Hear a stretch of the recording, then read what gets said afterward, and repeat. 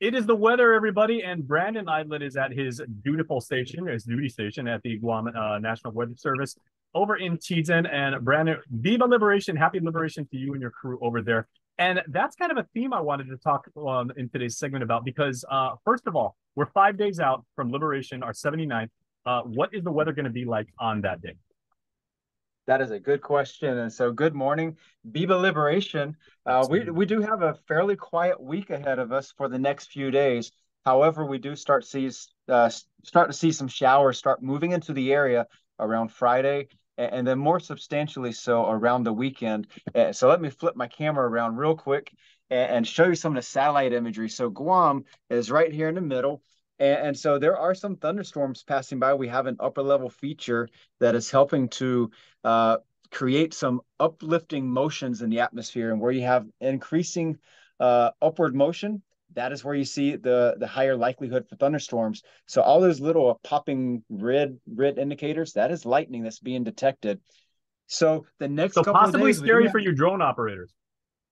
That's right. So yeah, for folks that are, are, operating drones, these are the conditions you probably don't want to have your drones out there uh, until things have cleared out a little bit. Midweek does look to be somewhat improved. However, as we go into uh, later this week, Thursday, Friday, we start seeing a few more showers start popping up across the region. Uh, but more substantially, around Saturday and Sunday, uh, we do have a surface trough. So that's just a, a small little bend in some of the the air motions, low level air motions. That's going to be bringing uh, bringing some showers this weekend, mm. uh, but it does look like this Friday, Liberation Day, doesn't look to be too stormy as we have seen on some Liberation Days in the past. Yeah, but Liberation Days in the past, I know because I've been in, I, I marched in the parade when I was in ROTC. We got absolutely uh, downpoured. Other times it's been like absolutely perfect weather. Now, let me ask you though, because I know you're not just a a practitioner of science, Brandon. You're also a student of history, right? And I know I've been to your office. You guys have millions upon millions of dollars of high tech equipment over there. Are you able to actually trace back and maybe even do like a database query or something like that and actually see what the weather was like when Guam was liberated by US Marines on July 21st, 1944? That is a, a, deep and probing question, Jason. we we do uh, have a lot of data, and in fact, uh, the National Weather Service has an office. I believe it is in Asheville, North Carolina. Uh, is called NCEI, uh, National Centers for Environmental Information. Uh, it used to be called NCDC, and that's where they archive all the data and observations, weather forecasts, and everything that has ever been issued uh, they keep a, a, massive climate database.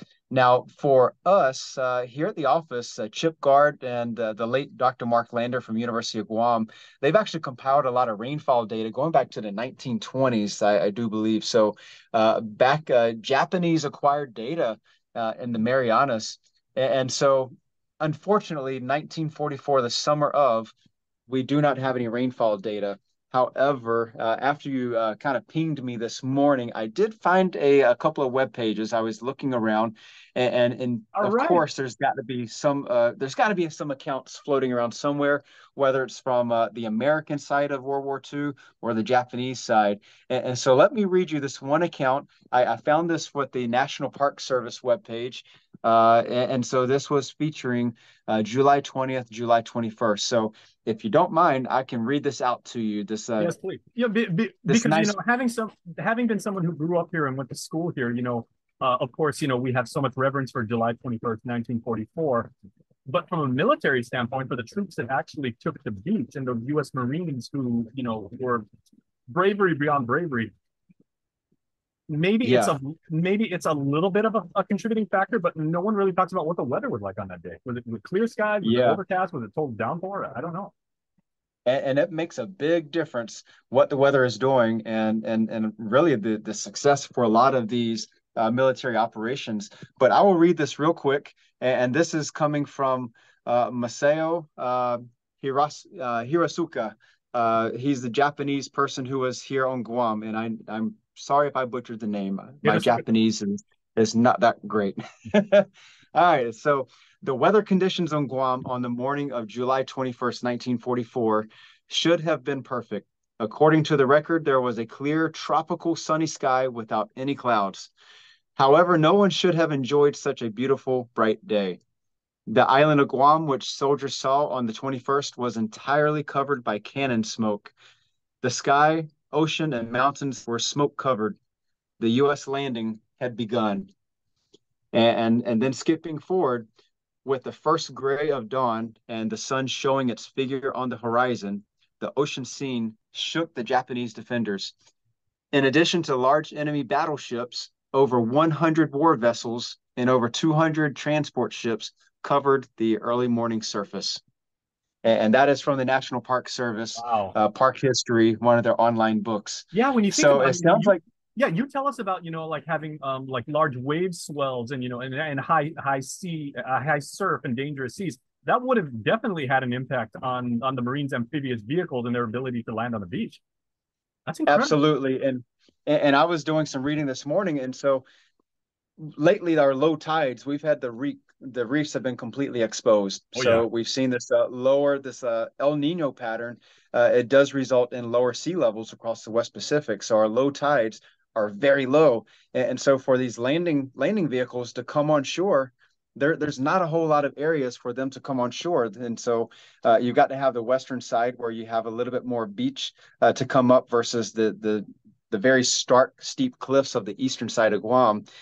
And, and then uh, you do need to have a little bit of water, uh, not too deep, because you've got the soldiers who are coming out of the ships and, and they need to traverse those reefs. If it's too deep, then they're Good point. carrying a lot of gear. And you They're going to have a hard and time. and we've got these five pound raindrops and it rains very very hard here running in full military gear like in in Yeah. combat boots and everything on the beach is very hard to do even when it's like perfectly dry and everything i can only imagine like when the when the sand's a little down Yeah, so they're wearing That's their, their full insight. uniform. They've got their helmets. They're carrying canteens of water because no telling where they're going to find water once they get on shore. They're they're carrying their weapons, machetes, uh, other gear. They're each carrying pieces of equipment so they can put together larger guns up on shore to fight the uh, fight the Japanese. but you And, know and then all this while they're going through the reef, and, and I'm thinking you got the uh, the sea cucumbers, you you got the sea urchins. You're trying to avoid not step on them. You're trying not to cut on the coral, and and, and they're carrying all this gear across that reef. yeah and and if there were you know large large swells and everything that would have turned up a whole bunch of other things you know like who knows but Absolutely, wow, that is- yeah. And, and that I was doing some more reading in, in uh, the history.army.mil. So there is a, another online book, and and so this was several days after the landing. Uh, so the the the Marines have come out across a good portion of Guam. They're working their way northward through Barrigada, and, and so uh, I'll read this little selection. Losing their way, hacking out new paths through a tangle of trees and vines, hurrying to reach night defensive areas in time to dig in properly, the infantrymen began to experience the full misery of operations in the tropics. The rainy season was now at its height, and drenching, uh, drenching showers alternated with terrific heat. At night, when the men could use warmth, they sat in flooded foxholes and found their teeth chattering. During the day, their fatigue stayed wet with perspiration. And, then during the, the night, you were attacked by mosquitoes. During the day, uh, hounded by flies. So pretty crazy. We're seeing that right now with the, the heat and humidity. And, and just imagine having all the fighting uh, you're you're battling to stay alive. And you know that, that that's a very good point by you because we think about these, we think about what those those brave men did, and we continue to thank them for their bravery and their sacrifice, and you know, and and we honor uh, their memory, the, the many many liberators who um, freed us from Japanese occupation 79 years ago. So, Brandon, I look at the Weather Service. That was amazing. Thank you for thank you for for you know basically peering into the Wayback Machine and you know and pulling that out because that's incredible. Absolutely, and uh, it's it's crazy to think uh, uh, weather has a significant role in every little thing that we do, and and, and so and the the shadows of major events in history, weather still plays a role. And and just imagine what if there's a typhoon? Uh, what if there was a typhoon the week before, or the the week after? What that would have meant to either the Japanese or the Americans, and uh, so. Uh, I guess we can always just circle right back around to, are we ready? Uh, to face what uh, nature can bring, the good and the bad. And uh, and, and I would just uh, kind of follow that up with just a reminder for folks across the region. And, and I'll flash the satellite on real quick. uh, across uh, the far western Micronesia, we are watching a disturbance that could try to develop into a depression the next couple of days. So, folks who have any plans down there in the far southwest, keep your eyes on the weather and uh, be ready to respond to whatever may rise up. All right. And, and if we do need to talk to you, we know you guys always have our back, as the Marines did for us 79 years ago. And happy Liberation uh, Day to you and your crew over there, the NWS, man. We appreciate you guys. Absolutely. Happy Liberation Day to you as well.